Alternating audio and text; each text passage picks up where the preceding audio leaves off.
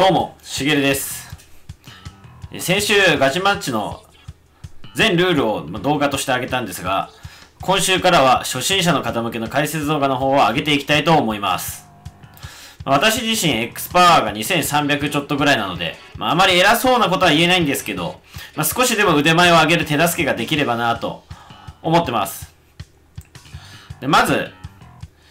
まあ、前提として、某スプラ系 YouTuber の方も言っていたんですけど、このゲーム、やっぱり初心者に優しくないんですよね。えー、最初のチュートリアルは、移動して、壁塗って、少し風船割って、ゴールみたいな感じで、終わったと思ったら、じゃあ縄バトルバトル、縄張りバトルやりましょう、なんて感じになってますね。正直、自分は友達がハスプレイの時に一緒にいたので、ま何をすればいいかがなんとなく分かったんですけど、誰もいなかったと思うと、正直、え、これどうすんのって感じでした。多分。で、やっぱり、そのスプラトゥーン自体を自分の周りで楽しそうって買う人が今でも結構います。で、それですごい嬉しい気持ちになるんですけど、難しくてやっぱりやめちゃうみたいな人が多数います。まあ S プラスとか X とか言ってひとしきりやったなっていう感じも若干やっぱいるんですけどちゃんと C とか B とかでもうやめちゃうみたいな。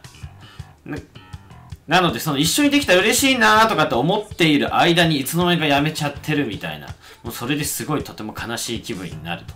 ああ、スプラトゥーンできなかったって。で、そんな自分が大好きなスプラトゥーンをやめてしまうと。そんな状況を打破すべく、